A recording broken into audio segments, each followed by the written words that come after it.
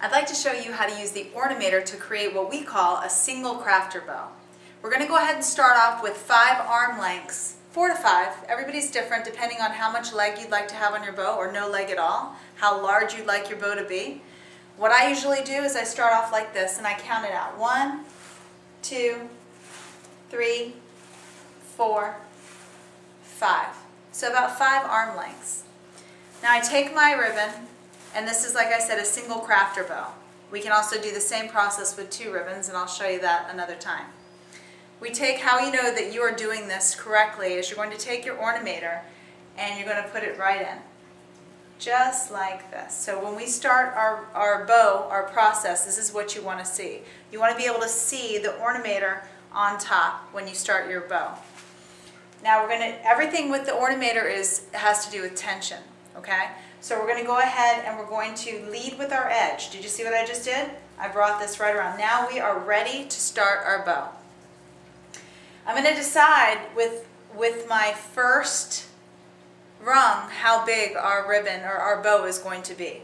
So this is where we start. Once again, guys, it's all with tension. I'm going to keep tension here while I slide my top edge in to the bottom. And once again, bring it around. And I'm going to do it again. I leave about a finger's width between each rung when I come around. And that will allow just enough over direction to make sure the bow is about the same size all the way from top to bottom. So once again, I have tension. I'm holding that with my thumb and I'm going to slide that in and slide it in. And before long, you'll be doing bows in less than 10 seconds like I am.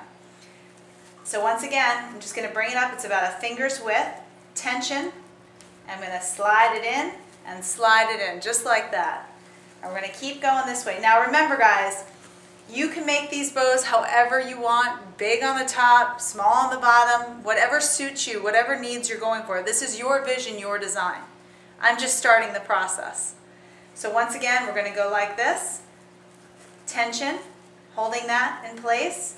We're going to do it again. It's just that easy. Now, when we're finished with our, with our bow, our single crafter bow, we're going to go ahead and break this out like this. And this is what it should look like. This is how we hang it into the tree or wreath. Now, follow me over to the tree. I'm going to show you. Everything is about tension. Remember that. So when I'm going into the tree, I'm going from one side of the branch to the other. Remember, this works on real trees. I started on real trees. So artificial or real, whatever the case may be, you're going to do it the same way every time. You're going to go from one side to the other. Right in. So I'm going to start here. I'm going to put it right in like that and put it right in like that. Now, beautiful. Now we're going to go ahead and we're going to fluff our bow just like this. And there you have a magnificent bow in your tree. Ta-da!